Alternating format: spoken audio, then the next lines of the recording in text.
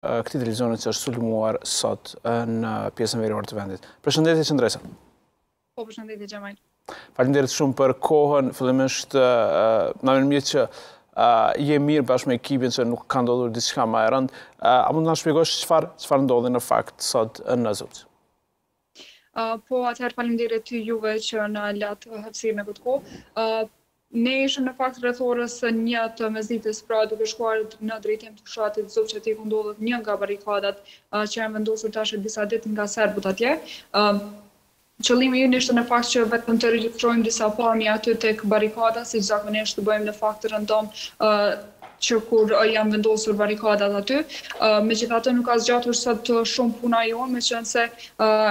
për rreth pesë minuta sa kemi qëndruar aty duke marrë pamje, veçse kemi parë një grup i cili po përgatitej në fakt me gurë, pra ne në fakt ata i kishim parë edhe gjatë kohës sa ishim duke shkuar dhe ata vinin po ashtu në drejtim të barrikadës, por të njëjtit nuk janë afruar drejt nesh në kohën kur ne ishim duke marrë pamje në drejtim te barrikadat. Megjithatë, përderisa ne i pamë që ata ishin duke u bërë gati për një sulm, unë kam hyrë brenda veturës në në karrigen e pasagjerit dhe kam xhiruar me telefon të njëjtit ku shihen duke u bërë gati me me gurë, duke i vendosur gurët në xhep dhe pra nënkuptohej që do të ndodhte diçka kur të ktheheshim andej meqenëse dihet se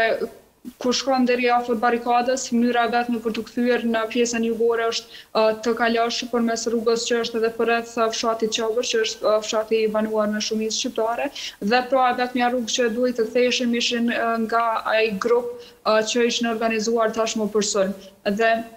Duke qenë të vetëdijshëm për rrezikun që na kanosej, kam vendosur telefonin në prehër për të xhiruar çkado që mund të ndodhte, patjetër me shpresën që s'do të ndodhë, por që me siguri më të madhe se do të ndodhë meqenëse veçse i pamë duke u bërë gati. Andaj, siç edhe mund ta keni parë në në videon që tashmë është publikuar, pak sekonda pasi që ne nisemi në drejtim të Mitrovicës Jugore, veçse Guri i cili është gjuajtur nga një afërsi goxha e madhe, pra ata ishin vetëm në skaj të rrugës, dhe me një fuqi goxha të madhe ka depërtuar në xhamin e përparmë të derës së pasagjerit, në këtë rast, dhe ka kaluar përreth fytyrës sime dhe ka goditur në krahërorin dhe qafën e shoferit, në këtë rast Elsat Sinanit. I njëjti ka pësuar disa lëndime për të cilat ka marrë edhe tretman mjekësor, sikur që unë kam pësuar disa lëndime në fytyrë si pasojë e e copëzave të xhamit të cilat u thyen pasi që guri hyri brenda në automjetin tonë. Përderisa fatmirësisht pjesa tjetër e ekipit, gazetari Drin Demiri po ashtu edhe kamermani Agon Bejtullahu nuk kanë pësuar lëndime meqenëse ishin në ulëset e pasme ku megjithëse u u sulmuan po ashtu me gurë edhe pjesa e pasme nuk depërtuan gurët brenda dhe rrjedhimisht për fatin e tyre të mirë dhe patjetër që edhe tonin ata shpëtuan pa lëndime. Me me të kaluar kjo situatë ne u ndalëm në fakt menjëherë pak metra pasi që ndodhi rasti, për shkak që si pasojë që në disa pjesë të fytyrës më më kishin Domethënë vetëm se kishin depërtuar copëzat e xhamit dhe kisha pak gjak siç mund të shihet edhe kolegët bëjnë pak panik meqenëse nuk dihet se për ç'bëhet fjalë për diçka serioze ose jo